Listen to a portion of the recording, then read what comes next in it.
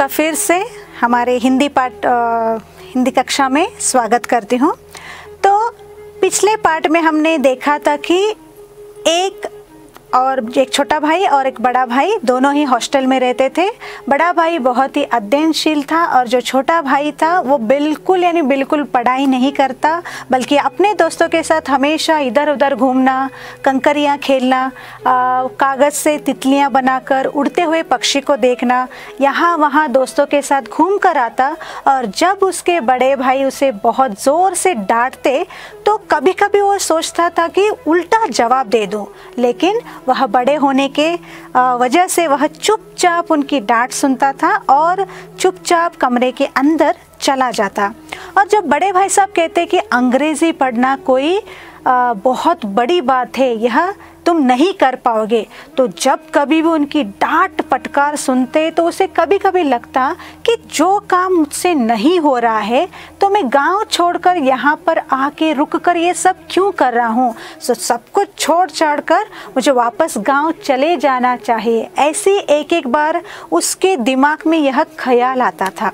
तो उसने एक बार ठान लिया किसने? छोटे भाई ने। एक बार ठान लेता है कि बड़े भाई साहब मुझे इतना डांटते हैं तो चलो मैं एक टाइम टेबल बनाता हूँ। जैसे हम जैसे हम जब जब कभी भी हम छोटे थे तो हमने भी टाइम टेबल बनाया है। जैसे आप लोग बनाते हो। सुबह उठना है ये विषय की पढ़ाई करनी है। मेरे लिए गणित बहुत ही बहुत मुश्किल है। तो गणित के जो भी प्रॉब्लम से मैं वो सॉल्व करेंगे। ऐसे बहुत सारे हम क्या करते हैं टाइम टेबल बनाकर उससे फॉलो करते हैं। कितने दिन? दो दिन, तीन दिन, चार दिन। फिर पाँचवें दिन हम क्या करते हैं? एज यूजल हमारे रेगुलर रूटीन में ही चले जाते हैं। तो यहाँ पर जो छोटे भाई है, इन्होंने भी एक टाइम टेबल बनाया। तो टाइम टेबल में उन्होंने क्या क्या लिखा? कैसे कैसे लिखा? तो बच्चों, ये प्रश्न आपको आपके परीक्षा में ज़रूर आ सकता है। तो प्लीज़ इसके ऊपर ज़्यादा ध्यान दीजिए। वह बनाता है कि छः बजे छः बजे उठना, हाथ मुँह धोना, उसके बाद नाश्ता करना और उसके बाद पढ़ने के लिए बैठ जाना। हाथ मुँह धोना है, नाश्ता करना है और करेक्ट छः बजे मुझे क्या करना है? पढ़ाई करने के लिए बैठ जाना है। तो छः से आठ तक अंग्रेज़ी पाठ पढ़ेंगे। तो देखिए छः से आठ तक पूरे दो घंटे जो इस पाठ में छोटे भाई साहब है, ये अंग्रेज़ी अंग्रेज़ी का मतलब होता है इंग्लिश विषय। अंग्रेज़ी का मतलब इंग्लिश विषय पढ़ना चाहते हैं। उसके बाद आठ से नौ तक हिसाब। हिसाब इसका मतलब होता है गणित विषय पढ़ना चाहते हैं। और नौ से साढ़े नौ तक इतिहास हिस्ट्री नौ से साढ़े नौ तक आधे घंटे तक ही वह क्या करना पसंद करते हैं? सिर्फ़ हिस्ट्री इतिहास पढ़ना पसंद कर रहे हैं। फिर भोजन, फिर स्कूल तो साढ़े नौ को इनकी पाठशाला शुरू हो जाती है। तो साढ़े छः से नौ बजे तक तीन विषय पढ़कर वह साढ़े नौ को वापस अपने स्कूल चले जाना पसंद करते हैं। साढ़े तीन बजे स्कूल से वापस होकर आधा घंटा आराम, चार से पाँच तक भूगोल, पाँच से छः तक ग्रामर, आधा घंटा हॉस्टल के सामने ही टहलना साढ़े छः से सात तक अंग्रेज़ी कंपोजिशन फिर भोजन करके आठ से नौ तक अनुवाद, नौ से दस तक हिंदी, दस से ग्यारह तक विविध विषय और विश्राम। तो जब साढ़े तीन बजे उनका पाठशाला छूट जाता है तो तब वह क्या करते हैं? वापस हॉस्टल आकर फिर से एक एक घंटा इंग्लिश, कंपोजिशन, भूगोल, जो बचे हुए विषय है, वह पढ़ना चाहते हैं। तो टाइम टेबल तो उस छोटे भाई ने बना लिया, लेकिन उसके ऊपर सही तरीके से उन्होंने वह पाठ पढ़ा या नहीं, और उस टाइम टेबल के हिसाब से वह चले या नहीं, ये आगे के पैराग्राफ में हम देखेंगे। तो नेक्स्ट पैराग्राफ देखिए। मगर टाइम टेबल बना लेना एक बात है, उस पर अमल करना दूसरी बात। पहले ही दिन उसकी अवहेलना शुरू हो जाती। मैदान की वह सुकूद हरियाली, हवा के हल्के हल्के झोंके, फुटबॉल की वह उछल कूद, कबड्डी के वह दाव गात, बॉलीवुड की वह तेज़ी और फुर्ती मुझे अज्ञात और अनिवार्य रूप से खींच ले जाती और वहाँ जाते ही मैं सब कुछ भूल जाता।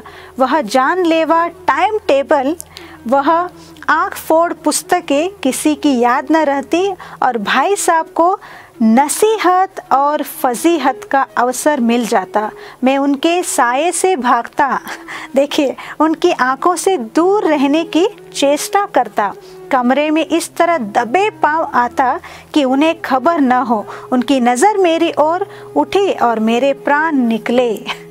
हमेशा सिर पर एक नंगी तलवार से लटकती मालूम होती, फिर भी जैसे मौत और विपत्ति के बीच भी आदमी मोह और माया के बंधन में जकड़ा रहता है।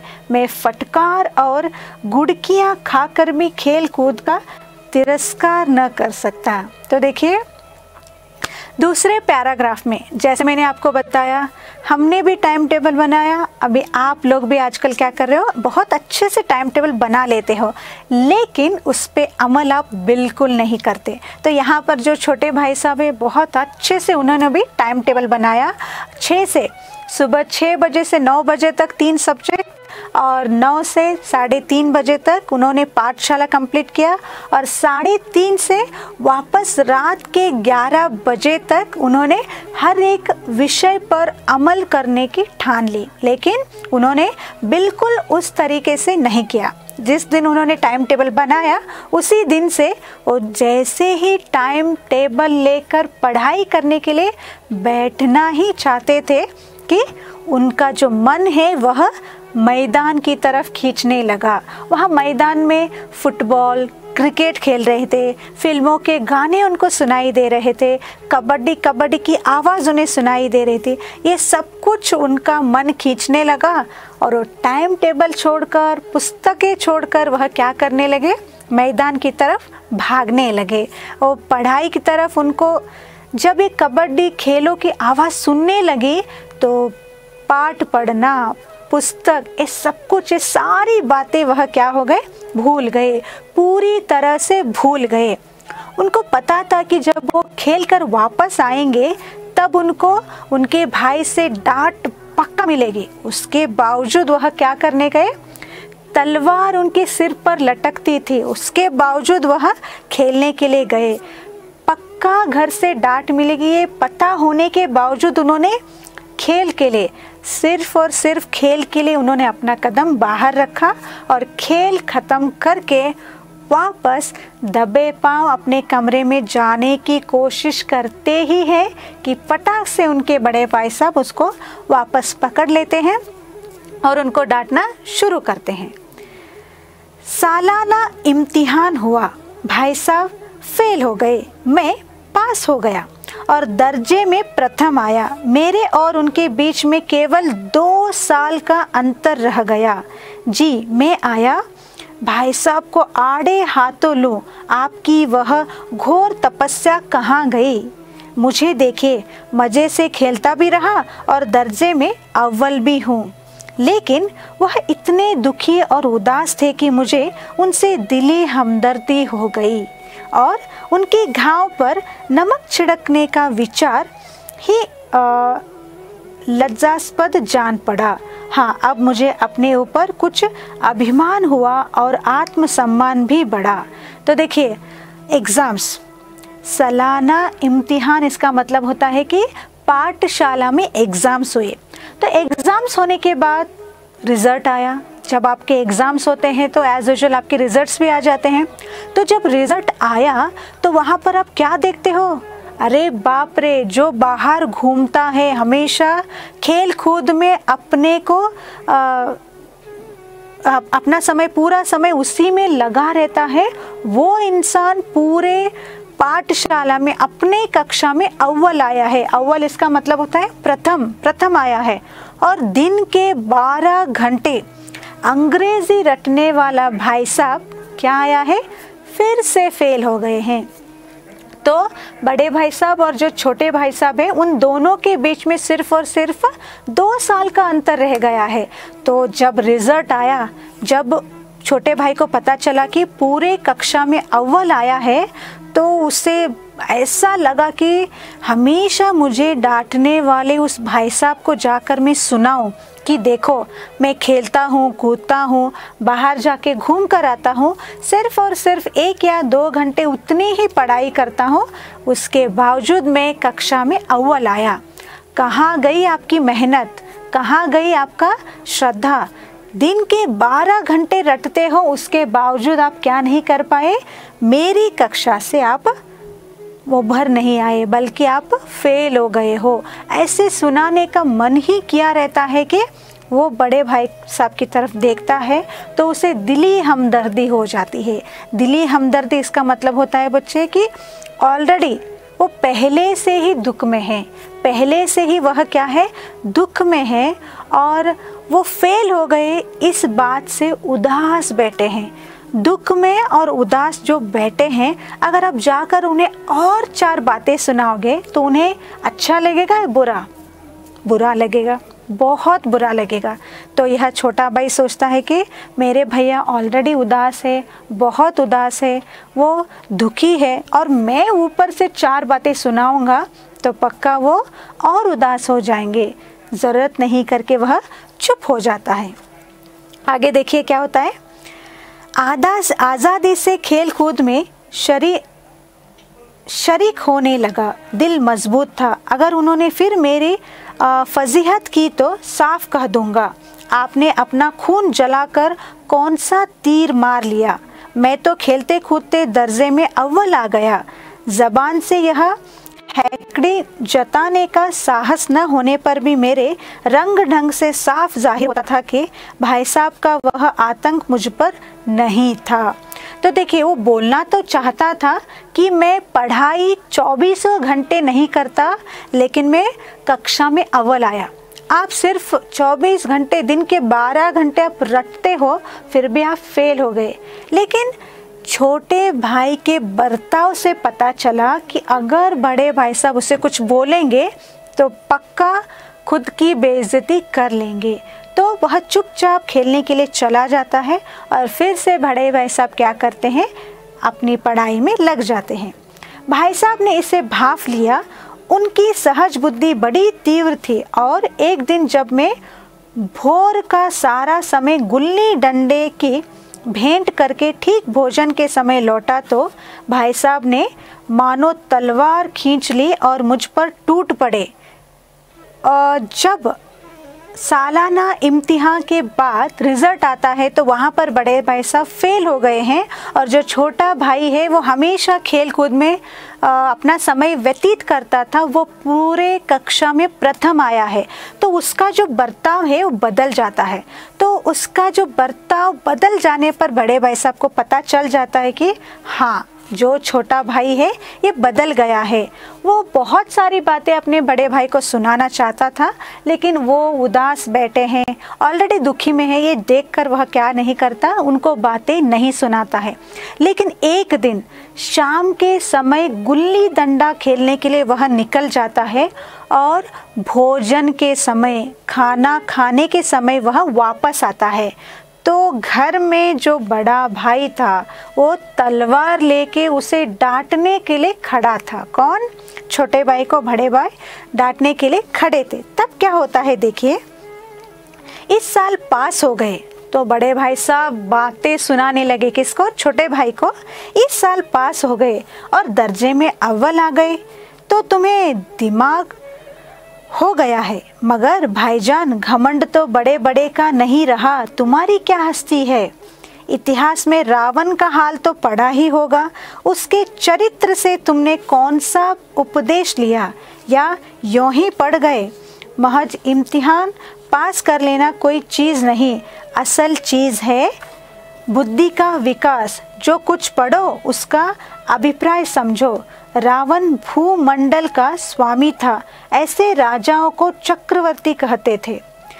आजकल अंग्रेज़ों के राज्य का विस्तार बहुत बड़ा हुआ है, पर इन्हें चक्रवर्ती नहीं कह सकते। संसार में अनेक राष्ट्र अंग्रेज़ों का आधिपत्य स्वीकार नहीं करते। बिल्कुल स्वाधीन है। रावण चक्रवर्ती राजा था। संसार के सभी महिम उसे कर देते थे। तो जो बड़े भाई साहब है, वो तलवार लेके खड़े हैं और अपने छोटे भाई को सुना रहे हैं। क्यों सुना रहे हैं? क्योंकि उस दिन शाम के वक्त वो खेलने के लिए चला गया और भोजन के वक्त वह वापस आया। तो उसे समझाते हैं। क्या कह के? कि एक कक्षा में तुम प्रथम आए हो। क्या है? एक ही कक्षा में तुम प्रथम आए हो। आने वाले दिनों में और भी बहुत सारे कक्षाएँ हैं जो तुम्हें पास करने हैं। चक्रवर्ती तो रावण भी था। पूरे इसका राज्य का वो अधिपति था। लेकिन यहाँ पर इस अंग्रेज़ी युग में सभी लोगों को अंग्रेज़ी आती है, लेकिन हम उन्हें चक्रपति, चक्रवर्ती नहीं कह सकते। तो जो खेल कूद में तुम्हारा ध्यान ज़्यादा है, उस ध्यान को वहाँ से हटाकर पढ़ाई में लगाओ करके और जो बड़े भाई साहब हैं, उसे फिर से समझाने लगते हैं। देखिए, जो हमारे घर के बुज़ुर्ग होते हैं, जो डांटते रहते हैं, वो हमारे अच्छे के लिए डांटते हैं। हमें उसका गलत मतलब बिल्कुल नहीं निकालना है बच्चों। तो आगे क्या होता है, देखिए। बड़े बड़े देवता उसकी गुलामी करते थे। आग और पानी के देवता भी उसके दास थे। मगर उसका अंत क्या हुआ? तो देखिए, जो रावण था, उसके सभी लोग गुलामी करते थे। जैसे आग, पानी, देवता, बहुत सारे लोग उसकी गुलामी करते थे और उसके डर की वजह से उसके सामने झुक जाते थे। लेकिन जो रावण का अंत हुआ, वो कहानी तुम्हें भी पता है करके बड़े भाई साहब क्या करते? छोटे को समझाते हैं। घमंड ने उसका नाम निशान तक मिटा दिया। कोई उसे एक चुल्लू पानी देने वाला भी न बचा। आदमी और जो कुकर्म चाहे करे, पर अभिमान न करे। इतराए नहीं, अभिमान किया और दिन दुनिया दोनों से गया। तो देखिए, कितने खूबसूरत शब्द से वह हमें बता रहे हैं कि तुम ज़िंदगी में कुछ भी कर लो, कक्षा में या पूरे पाठशाला के लिए तुम अव्वल आ जाओ, लेकिन घमंड मत करो। घमंड करोगे तो पूरी दुनिया से जिस तरह से रावण का नामो निशान मिट गया, उसी तरह तुम्हारा भी नामो निशान मिट जाएगा। तुम्हारे अंदर एक खूबी है। अगर तुम थोड़ी सी परिश्रमा करते हो तो तुम हर एक मामले में आगे बढ़ सकते हो, हर एक मामले में आगे आ सकते हो। तुम्हारे अंदर वो एक बुद्धिमता है। उस बुद्धिमता का उपयोग सही तरीके से सही समय पर करो और अव्वल आए हो करके घमंड मत दिखाओ करके वह बड़ा भाई साहब क्या करते हैं, अपने छोटे भाई को बहुत ही खूबसूरत तरीके से समझाते हैं। तो आगे क्या होता है देखिए बच्चों, शैतान का हाल भी पड़ा ही होगा। उसे यह अभिमान हुआ था कि ईश्वर का उससे बढ़कर सच्चा भक्त कोई कोई है ही नहीं। अंत में यह हुआ कि स्वर्ग से नरक में ढकेल दिया गया।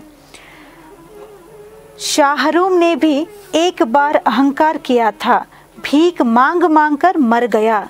तुमने तो अभी केवल एक दर्जा पास किया है। तो समझाते हैं कि जो लोग घमंड करते हैं पहली बार स्टार्टिंग में घमंड जो करते हैं, उनका जो अंत होता है, वो बहुत ही भयानक होता है। तो तुमने सिर्फ़ और सिर्फ़ एक दर्जा, यानी कक्षा, आठवीं कक्षा, पहली कक्षा तुमने अभी क्या किया है? पास किया है। तो अव्वल पहली बार आए हो, प्रथम दर्जा तुमने पहली बार प्राप्त की है तो पहली बार अव्वल दर्जा प्राप्त करने पर घमंड मत करो। इस घमंड का जो परिणाम होता है, वो बहुत ही भयानक होता है करके वो बहुत ही खूबसूरती से उसे समझाते हैं। अभी से तुम्हारा सिर फिर गया, तब तो तुम आगे पढ़ चुके। यह समझ लो कि तुम अपनी मेहनत से नहीं पास हुए। अंधे के हाथ बटेर लग गई, मगर बटेर केवल एक बार हाथ लग सकती है, बार बार नहीं। लग सकती कभी कभी गुल्ली डंडे में भी अंधा छोट निशाना पड़ जाता है। इससे कोई सफल खिलाड़ी नहीं हो जाता। सफल खिलाड़ी वह है जिसका कोई निशान खाली ना जाए। कितने खूबसूरती से उन्होंने समझाए। देखिए, बड़े भाई साहब उसे बताते हैं कि बाय मिस्टेक परीक्षक के हाथों से तुम क्या हो गए हो? पास हो गए हो। परीक्षक के हाथों से या परीक्षक के गलती की वजह से तुम अव्वल आए होंगे। तो उस एक बात की वजह से घमंड मत करो। बल्कि तुम्हारे पास अभी भी वक्त है। तुम्हारे पास बहुत सारे अवसर है। तो उन अवसरों का, उन समय का सही तरीके से उपयोग करके आगे शायद कोई परीक्षक तुम्हें गिल्ली डंडा ना मार ले उस तरीके से तुम्हें वहाँ से निकलना है करके उसे समझाते हैं। मेरे फेल होने पर मत जाओ। तो वहाँ पर अपनी दिल की बात अपने भाई के सामने वह रखते हैं कि तुम पास हो गए हो मैं फेल हो गया हूँ। मेरे हो, फेल होने की तरफ़ तुम मत जाओ। तुम्हारे पास बहुत सारे अवसर है, तुम्हारे पास बहुत सारे अवकाश है, समय है। उन समय का सही उपयोग करो करके बोलते हैं। मेरे मेरे दर्जे में आओगे तो दांतों पसीना आ जाएगा। जब अलजिब्रा और जामेट्री के लोहे के चने चबाने पड़ेंगे और इंग्लिस्तान का इतिहास पढ़ना पड़ेगा। बादशाहों के नाम याद रखना आसान नहीं। आठ आठ हेनरी हो गुजरे हैं। कौन सा खंड किस हेनरी के समय में हुआ? क्या यह याद कर लेना? आसान समझते हो? हेनरी सातवें की जगह, हेनरी आठवें लिखा और सब नंबर गायब। सपाचट। सिफर भी न मिलेगा। सिफर भी। हो किस ख्याल में? दर्जनों तो जेम्स हुए हैं। दर्जनों विलियम। कोडियो चार्ल्स दिमाग चक्कर खाने लगता है। आंधी रोग हो जाता है। इन अभागों का नाम भी न जुड़ते थे। एक ही नाम के पीछे दोयम, सोयम, चाहरुम, पंचुम लगाते चले गए। मुझसे पूछते तो दस लाख नाम बता देता। तो देखिए वो क्या बोलता है? अभी तुमने पहला दर्जा पास किए हो। जब तुम मेरे दर्जे में आओगे तो वहाँ पर ज्योमेट्री है, इतिहास है, गणित है, भूगोल है और बहुत सारे ऐसे शब्द है जो तुम याद भी नहीं रख पाओगे। तो मेरे नवी कक्षा में पढ़ाई करते करते क्या हो जाता है? दांतों तले पसीना निकल जाता है। यानी इसका मतलब यह है कि जो पढ़ाई वह कर रहे हैं, वो बहुत बहुत बहुत क्या है? टफ है। अभी तुम छोटी कक्षा में हो, मेरे से दो दर्जे, नीचे की कक्षा में हो तो तुम्हें जो पढ़ाई है, वो उतनी हैवी नहीं लग रही, उतना टफ नहीं लग रहा, तुम्हें उतना वज़नदार महसूस नहीं हो रहा। लेकिन जब तुम मेरी कक्षा में आओगे तो तुम्हें क्या हो जाएगा? दांतों तले पसीने छूट जाएँगे। इसका मतलब ये है कि बहुत बहुत बहुत तुम्हें मुश्किल हो जाएगा। तुम्हें अभी आसान लग रहा है, लेकिन आने वाले दिनों में बहुत मुश्किल होगा। तो इसी वजह से तुम अपना समय बिल्कुल मत गवाओ। अपना जो तरीका है पढ़ने का, उसे बदलो और सही समय पर वक्त का सही उपयोग करो करके बड़े भाई साहब अपने छोटे भाई को समझाते हैं। उसके आगे क्या होता है देखिए। और जामेट्री तो बस खुद, खुदा ही पनाह। अ ब ज की जगह अ ज ब लिख दिया और सारे नंबर कट गए। तो जो ज्योमेट्री सब्जेक्ट रहता है उसमें A B C C B ए की जगह ए बी सी या ए बी सी की जगह सी बी जेड लिखो। तो पक्का आपके नंबर कट जाएँगे। नंबर कट जाएँगे, इसका मतलब है बच्चों कि जो मार्क्स आपको मिलने चाहिए थे, जो आपको, आपके मार्क्स मिलने चाहिए थे, सिर्फ़ और सिर्फ़ एक स्पेलिंग के हेरा पेरी की वजह से अगर आपको तीन मार्क्स मिलने वाले हैं तो वो भी आपको क्या नहीं होगा? बिल्कुल नहीं मिलेगा। कोई इन निर्दयी ममताहीनों से नहीं पूछता कि आखिर अ, ब, ज और अ, ज, ब में क्या फ़र्क है। तो ममताहीनों इसका मतलब है कि परीक्षक, जो आपके परीक्षा के बाद आपके पेपर चेक करते हैं, उनको हम कहते हैं मुमताहीन करके। तो ये जो बड़े भाई साहब ये बता रहे कि अ ज ब या ब ज अ, क्या फ़र्क है? मार्क्स क्यों नहीं देते? थोड़ी सी गलती पर आप मार्क्स क्यों काट देते हो करके यह बोल रहे हैं। तभी क्या होता है देखिए व्यर्थ की बात के लिए क्यों छात्रों के खून चूसते हो? तो बता रहे अपनी एक मन की बात आपके सामने रख रहे हैं कि एक छोटी सी गलती के लिए आखिर क्यों परीक्षक हमारे मार्क्स काट देते हैं करके अपनी मन मन की व्यथा, वह क्या कर रहे हैं, अपने छोटे भाई के सामने व्यतीत कर रहे हैं। तभी दाल, भात, रोटी खाए या भात, दाल, रोटी खाए, एक ही बात है। तो बता रहे कि पहले रोटी, चावल खाए, रोटी और दाल खाए, या दाल और चावल खाए, एक ही बात है, लेकिन जो परीक्षक जन है, वो क्या करते हैं? नहीं। एक शब्द या एक वर्ड गलत लिखते हो, या एक शब्द इर्द गिर्द हो जाते हैं तो पक्का आपके मार्क्स क्या हो जाएँगे? काट दिए जाएँगे। तो ये बात बड़े भाई साहब को बिल्कुल पसंद नहीं है। तो इसलिए वह अपनी मन की बात छोटे भाई के सामने रख रहे हैं। इस रेखा पर वह लंब गिरा दो तो आधार लंब से दुगना होगा। पूछिए, इससे प्रयोजन, दुगना नहीं, चौगना हो गए। आ, आदि ही रहे मेरी बला से, लेकिन परीक्षा में पास हो तो यह सब खुराफात याद करनी पड़ेगी। कह दिया समय की पाबंदी, पर एक निबंध लिखो जो चार पन्नों से कम न हो। अब आप काफ़ी सामने खोले कलम हाथों में लिए उसके नाम को रोइए। तो एक निबंध लिखने के लिए चार चार पन्ने लिखने पड़ते हैं। तो बड़ा भाई अपने छोटे भाई के सामने अपनी व्यथा, अपनी जो प्रॉब्लम है, वो बता रहे कि एक निबंध लिखना है तो चार चार पेज लिखने पड़ते हैं करके अपनी व्यथा उसके सामने रख रहा है। उसके नाम को रोइए। कौन नहीं जानता कि समय की पाबंदी बहुत अच्छी बात है। इससे आदमी के जीवन में संयम आ जाता है। दूसरों दूसरों का उस पर स्नेह होने लगता है और उसके कारो, कारोबार में उन्नति होती है। लेकिन इस ज़रा सी बात पर चार पन्ने कैसे लिखे? तो देखिए, उसकी क्या व्यविधा है, क्या उसको प्रॉब्लम है, क्या उसकी समस्या है। तो समय की पाबंदी इस विषय पर उसे क्या करना है? लेख लिखना है। तो समय के ऊपर जो इंसान लगता जाता है उस इंसान को ज़रूर सक्सेस मिल जाता है। वो आ, क्या करता है? ज़िंदगी में वो हर एक चीज़ पाता है जिसकी ज़रूरत उसे है। तो यहाँ पर बड़े भाई साहब का सवाल ये है कि उस एक शब्द के ऊपर हम चार चार पन्ने कैसे लिखे? तभी जो बात एक वाक्य में कही जा सके, उसे चार पन्नों में लिखने की ज़रूरत ही क्या है? मैं तो इस हिमाकत करता हूँ। यह तो समय की किफ़ायत नहीं, बल्कि उसका दुरुपयोग है कि व्यर्थ में किसी बात को ठोस दिया जाए। हम चाहते हैं आदमी को जो कुछ कहना है छटपट कह दे और अपनी राह ले, मगर नहीं, आपको चार पन्ने रगड़ने पड़ेंगे। चाहे वैसे लिखिए और पन्ने भी पूरे फुलस्केप आकार में। तो देखिए, वो अपनी एक समस्या आपके सामने कितने अच्छे तरीके से रख रहे हैं कि जब शिक्षक आपको एक सब्जेक्ट देते हैं, एक विषय देते हैं कि उस विषय पर आपको क्या करना है? निबंध लिखना है। तो बड़े भाई साहब कहते हैं कि समय का महत्व सभी जानते हैं, जो समय का महत्व है, सभी जानते हैं। तो समय के ऊपर जो अमल करेगा, वो अपने जीवन में सफल रहेगा।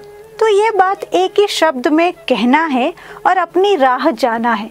तो क्यों इसे फुल स्केल पेज पर चार चार पन्ने लिखने हैं करके ये क्या बोल रहे अपनी एक व्यथा आपके सामने रख रहे हैं। यह छात्रों पर अत्याचार नहीं तो और क्या है? तो बता रहे हैं कि चार चार पन्ने जो हम लिखते हैं, ये छात्रों पर अन्याय है। तो अन्याय नहीं तो और क्या है? अनर्थ तो यह है कि कहा जाता है, संक्षेप में लिखो। समय की पाबंदी पर संक्षेप में एक निबंध लिखो। जो चार पन्नों से कम न हो, ठीक। संक्षेप में तो चार पन्ने हुए नहीं, शायद सौ दो सौ पन्ने लिखवाते। तेज भी दौड़िए और धीरे धीरे भी।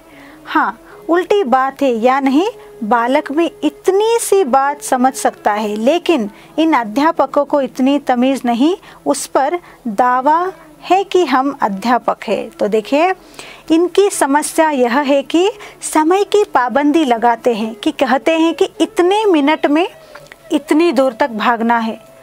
भागकर वहाँ पर पहुँचना है, लेकिन धीरे धीरे भागना है। वहाँ पर भी समय की पाबंदी लगाते हैं और साथ साथ में एक विषय देते हैं, चार से पाँच पन्ने हमें क्या करना है? लिखना है।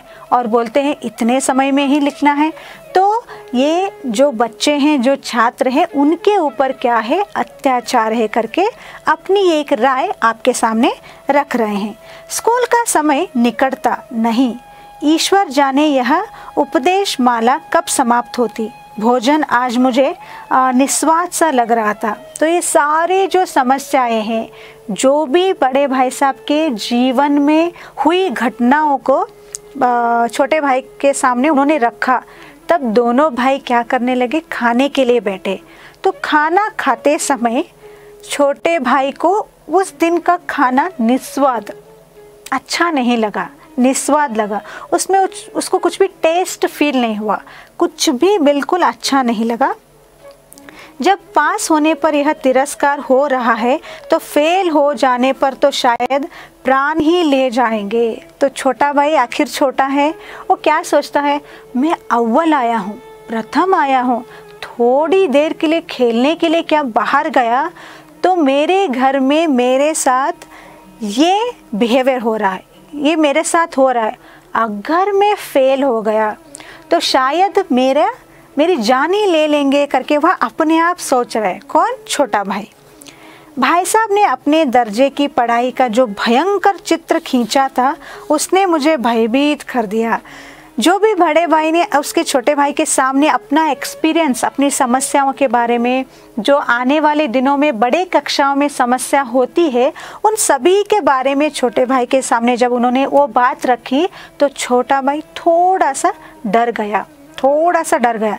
देखिए, जब आप छोटे रहते हो तो बड़े कक्षा, बड़े क्लास में जाने से पहले जो आपके सीनियर्स रहते हैं, वो क्या करते हैं? हाँ उस पार्ट में ये लेसन है, बहुत टफ है। ऐसा लिखना है, वैसा लिखना है, ये सभी बातें बोलकर आपको डराते हैं। तो उदाहरण के लिए जब तक आप नदी में कूदोगे नहीं, तब तक आपको तैरना भी नहीं आएगा, है ना? जब आप पानी में उतरोगे तो तभी आपको पता चलेगा कि पानी की गहराई कितनी है, आपको तैरना है या डूबना है। तो यहाँ पर छोटे भाई की हालत यही है कि उसे अभी तैरना नहीं आता है और ना ही वह पानी में उतरा है। और तभी बड़े भाई ने क्या कर दिया? उसे पूरी तरह से इतिहास ज्योमेट्री गणित, समाज हिस्ट्री सारे विषयों के बारे में बताकर उसे पूरी तरह से डरा दिया। डराने के बाद वो छोटा भाई सोचता है कि मैं तो अव्वल आया हूँ, प्रथम आया हूँ। उसके बावजूद मेरे घर में मेरे साथ ये व्यवहार हो रहा है। अगर मैं फेल हो गया तो शायद मुझे ये लोग मारी डालेंगे करके सोचते सोचते वह खाना खा रहा है। बाद में क्या होता है देखिए। फिर सालाना इम्तिहान हुआ। कुछ ऐसा संयोग हुआ कि मैं फिर पास हुआ और भाई साहब फिर फेल हो गए। फिर से वही इतिहास दोहराने लगा। फिर से दूसरी बार एग्ज़ाम्स होते हैं, परीक्षा होते हैं और इस परीक्षा में भी छोटा भाई पास हो गया और बड़ा भाई फिर से फेल हो गया। तो देखिए आगे क्या होता है। मैंने बहुत मेहनत नहीं की पर न जाने कैसे दर्जे में अव्वल आ गया। मुझे खूब अचरज हुआ। अचरज का मतलब होता है शौक। एकदम सडनली शौक होना। भाई साहब ने प्राण तंक परिश्रम किया। कोर्स का एक एक शब्द चाट गए थे। दस बजे रात तक इधर, चार बजे बोर से उधर छः से साढ़े नौ तक स्कूल जाने के पहले मुद्रा क्रांतिहीन हो गए मगर बेचारे फेल हो गए। तो देखिए, दूसरी बार जब एग्ज़ाम हुए तो एज़ यूजल उसने पढ़ाई की थी, किसने? छोटे भाई ने। उसके बावजूद वो अव्वल आ गया। जो बड़े भाई थे, पहले से भी उन्होंने बहुत बहुत बहुत ज़्यादा मेहनत की थी। उसके बावजूद वह क्या हो गए? फिर से फेल हो गए थे। तो मैं भी रोने लगा। अपने पास होने की खुशी आदि हो गई। मैं भी फेल हो गया होता तो भाई साहब को इतना दुख न होता, लेकिन विधि की बात कौन टाले? तो एकदम से छोटा भाई भी रोने लगता है। तो खुद समझ लेता है कि मैं बिना पढ़ाई किए सिर्फ़ एक या दो घंटे पढ़ाई करता हूँ, उसके बावजूद मैं अव्वल आता हूँ। ये दिन के पूरे बारह घंटे रट रहे हैं, उसके बावजूद ये अव्वल नहीं आ रहे। तो मन ही मन बोलता है कि विधि का लिखा हुआ कौन टाले? विधि का लिखा हुआ कौन टाले कह के वह बात वह क्या करता है? टाल देता है। मेरे और भाई साहब के बीच में अब केवल एक दर्जे का अंतर और रह गया। मेरे मन में एक कुटिल भावना उदय हुई कि कहीं भाई साहब एक साल और फेल हो गए। हो जाए तो मैं उनके बराबर हो जाऊँ। तो इसका मतलब ये है कि भाई साहब नौवीं कक्षा में पढ़ रहे हैं। जो भाई साहब हैं, नौवीं कक्षा में पढ़ रहे हैं और जो छोटा भाई है, वो आठवीं कक्षा में। यानी पूरे तीन साल से वो कंटिन्यू फेल होते ही आ रहे हैं और ये जो छोटे भाई है, खेल कूद करते हुए भी पास होते आ रहे हैं। तो तब वो सोचता है कि अगर इस साल भी भाई साहब फेल हो गए तो बराबर मेरी कक्षा में आ जाएँगे करके वह सोचने लगा। फिर वह किस आधार पर मेरी फसीहत कर सकेंगे? लेकिन मैंने इस विचार को दिल से बलपूर्वक निकाल डाला। आखिर वह मुझे मेरे हित के विचार से ही तो डांटते हैं। तो क्या होता है कि सोचने लगता है, जो छोटा भाई है बार बार बार बार पाठशाला में अव्वल आता है। बिना पढ़ाई के खेल कूद घूमना, फिरना, दोस्तों के साथ साथ मस्ती करना, ये सब कुछ करने के बावजूद भी वह अव्वल आता है और बारह घंटे रटने के बाद भी क्यों भाई साहब फेल हो जाते हैं? तो पूरे एक साल में अगर वो फिर से वापस फेल हो जाएँगे तो दोनों, बड़े भाई साहब और छोटा भाई दोनों ही नवी कक्षा में आ जाएँगे। तो ये सारी बातें छोटा भाई सोचता है और फिर क्या करता है? ये गलत है। आखिर बड़ा भाई मुझे डांटता है करके हम उसे नफरत तो नहीं कर सकते। तो ये कह के वो क्या करता है? अपने काम में लग जाता है। अब भाई साहब बहुत कुछ नरम पड़ गए। कई बार मुझे डांटने का अवसर पाकर भी उन्होंने धीरज से काम लिया। शायद अब वह खुद समझने लगे थे कि मुझे डांटने का अधिकार उन्हें नहीं रहा। तो बहुत कम। मेरी स्वच्छंद भी बढ़ी। मैं उनकी सहिष्णुता का अनुचित लाभ उठाने लगा। मुझे कुछ ऐसी धारणा हुई कि मैं पास ही हो जाऊँ, पढ़ूँ या न पढ़ूँ, मेरी तकदीर बलवान है। इसलिए भाई साहब के डर से जो थोड़ा बहुत पढ़ लिया करता था, वह भी बंद हुआ। तो देखिए, अब जो बड़े भाई है, वो पूरी तरह से नरम हो गए हैं, पूरी तरह से शांत हो गए हैं, क्योंकि पिछले तीन सालों से वह लगातार फेल होते आ रहे हैं। तो यहाँ पर जो छोटे भाई है, अभी वो आठवीं कक्षा में आ गए हैं, पूरे एक ही दर्ज पीछे हैं तो बहुत बार बहुत बार बड़े भाई को मौका मिला छोटे भाई को डांटने के लिए, लेकिन वो नहीं डांट रहे। क्यों? क्योंकि मैं इसे डांटता हूँ और मैं खुद फेल होता हूँ। वो पढ़ाई नहीं करता है, फिर भी पास हो जाता है। तो उसे डांटने का अधिकार मैंने खो दिया है, ऐसा वह सोच कर क्या करते हैं? चुप हो जाते हैं। तो जब उन्होंने डांटना बंद किया तो ये छोटा क्या करने लगा? ज़्यादा घूमने लगा, ज़्यादा फिरने लगा और ज़्यादा मस्ती करने लगा। खुद ब खुद समझने लगा कि मेरा जो नसीब है, मेरे साथ है। मेरा जो नसीब है, वो बहुत ही बलवान है करके सोचने लगा। मुझे कन का ये कन कये उड़ाने का नया शौक पैदा हो गया था और अब सारा समय पतंगबाजी की ही भेंट होता था।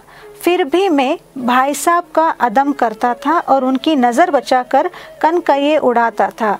मांझा देना, कन्ने बांधना, पतंग टूर्नामेंट की तैयारी आदि समस्याएँ अब गुप्त रूप से हल की जाती थी। मैं भाई साहब को यह संदेश न करने देना चाहता था कि उनका सम्मान और लिहाज मेरी नज़रों में कम हो गया है। तो देखिए, जो भी काम यह करता था, अपने दोस्तों के साथ मिलकर बाहर ही बाहर करके आ जाता। वो बार बार लगातार फेल होने की वजह से इनकी नज़रों में, छोटे भाई की नज़रों में उसकी जो इज़्ज़त थी वो कम हो गई। यह इस बात का एहसास वो छोटा भाई, बड़े भाई को नहीं दिलाना चाहता था। तो पूरा का पूरा वक्त वह पतंग बनाने में ही लगाता था। तो पतंग करते करते वह क्या कर रहे हैं, आगे हम देखते हैं। एक दिन संध्या समय हॉस्टल से दूर में एक कनकौआ लूट लूटने बेचाह दौड़ा जा रहा था। आँखें आसमान की ओर थी और मन उस आकाश गामी पति की ओर, जो मंद गति से झूमता पतन की ओर चल रहा था।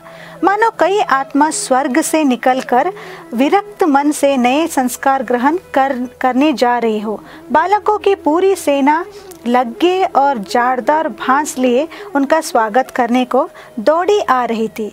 किसी को अपने आगे पीछे की खबर न थी। सभी मानो उस पतंग के साथ ही आकाश में उड़ रहे थे, जहाँ सब कुछ समतल है, न मोटर कार है, न ट्राम न गाड़ियाँ। तो एक दिन संध्या समय संध्या समय यानी शाम के वक्त ये सभी लोग, पूरे बच्चों का एक झुंड, बड़े, सारे, छोटे बच्चे सभी लोग मिलकर पतंग उड़ाने में बिज़ी थे। पतंग उड़ा रहे थे तो सबकी नज़र आसमान की तरफ़ थी।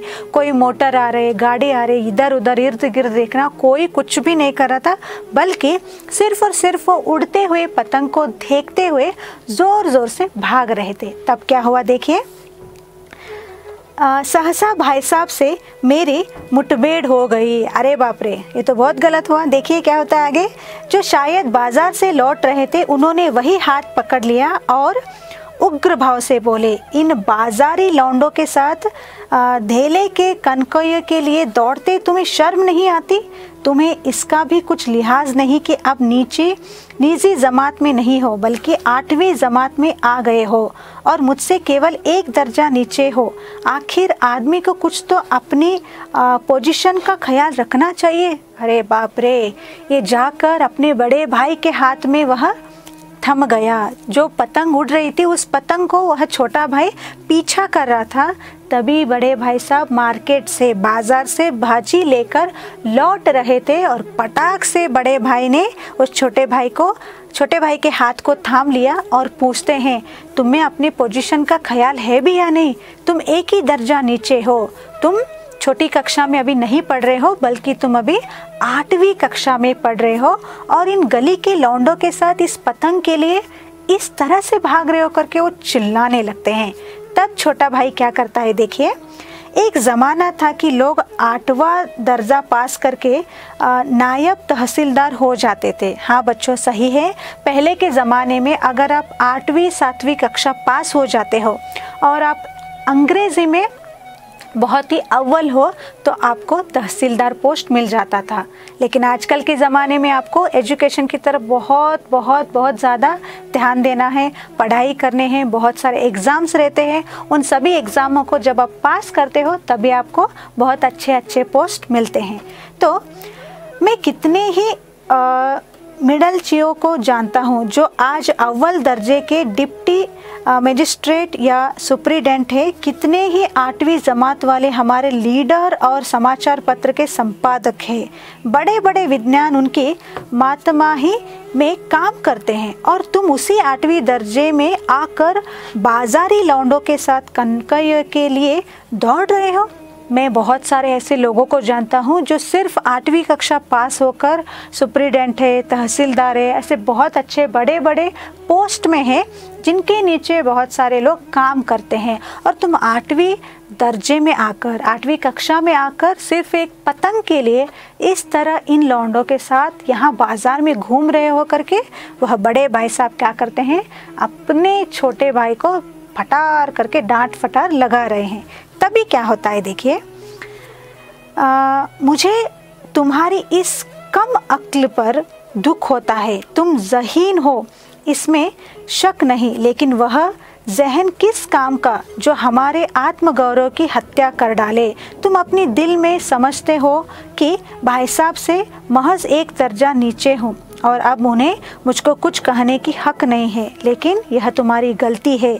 मैं तुमसे पाँच साल बड़ा हूँ, और चाहे आज तुम मेरी ही जमात में आ जाओ, और परीक्षकों का यही हाल है तो निस्संदेह अगले साल तुम मेरे समक्षम हो जाओगे, और शायद एक साल बाद मुझसे आगे भी निकल जाओ, लेकिन मुझमें और तुम में जो पाँच साल का अंतर है, उसे तुम क्या खुदा भी नहीं मिटा सकता। मैं तुमसे पाँच साल बड़ा हूँ और हमेशा रहूँगा। मुझे दुनिया का और ज़िंदगी का जो तजुर्बा है, तुम उसकी बराबरी नहीं कर सकते। चाहे तुम एमए और डिफिल और थी क्यों न हो जाओ, समझ?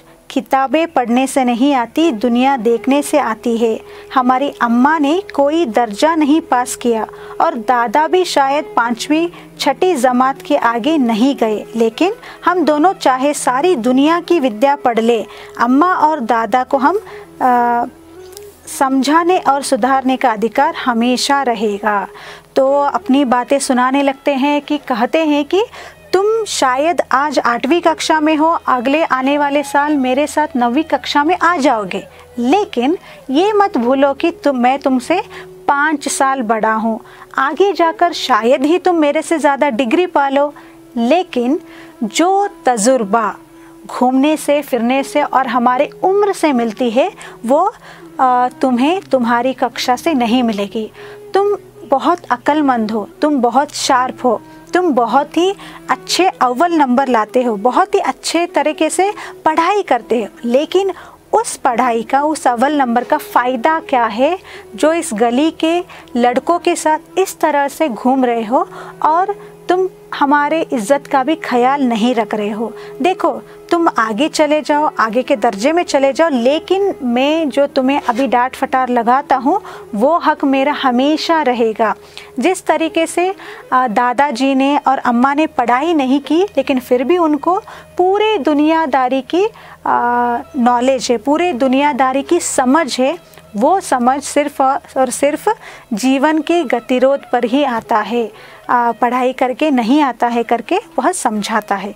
तभी केवल इसलिए नहीं कि वे हमारे जन्मदाता है, बल्कि इसलिए कि उन्हें दुनिया का हमसे ज़्यादा तरुज तजुर्बा है और रहेगा। अमेरिका में किस तरह की राज व्यवस्था है? और आठवें, हैंनरी ने कितने ब्याह किए?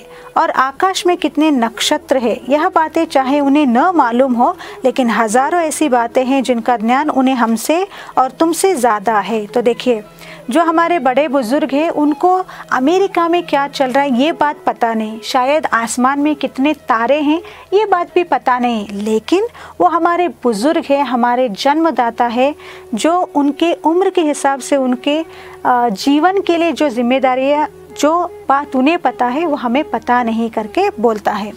दैव न करे, आज मैं बीमार हो जाऊँ तो तुम्हारे हाथ पाँव फूल जाएँगे। दादा को तार देने के सिवा तुम्हें और कुछ न सूझेगा, लेकिन तुम्हारी जगह दादा हो तो किसी को तार न दे, न घबराए, न बदहवास हो। तो देखिए एग्ज़ाम्पल एक ही उदाहरण देता है बड़ा भाई साहब।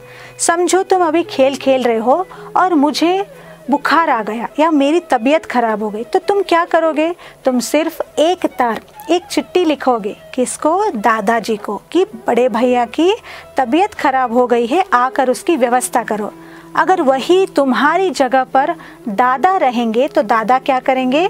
किसी को मत बोलो करके वह मेरी व्यवस्था करेंगे मेरे अंदर सुधार लाने की कोशिश करेंगे। यही फ़र्क है तुम में और मेरे दादा में कह के बोलते हैं। पहले खुद मरज पहचान कर इलाज करेंगे।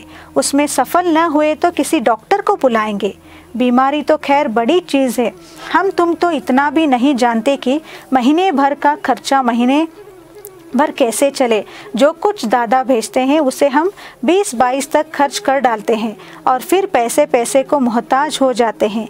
नाश्ता बंद हो जाता है, धोबी और नाई से मुँह चुराने लगते हैं, लेकिन जितना आज हम और तुम खर्च कर रहे हैं, उसके आधे में दादा ने अपनी उम्र का बड़ा भाग इज़्ज़त और नेक नामी के साथ निभाया है और कुटुंब का पालन किया है।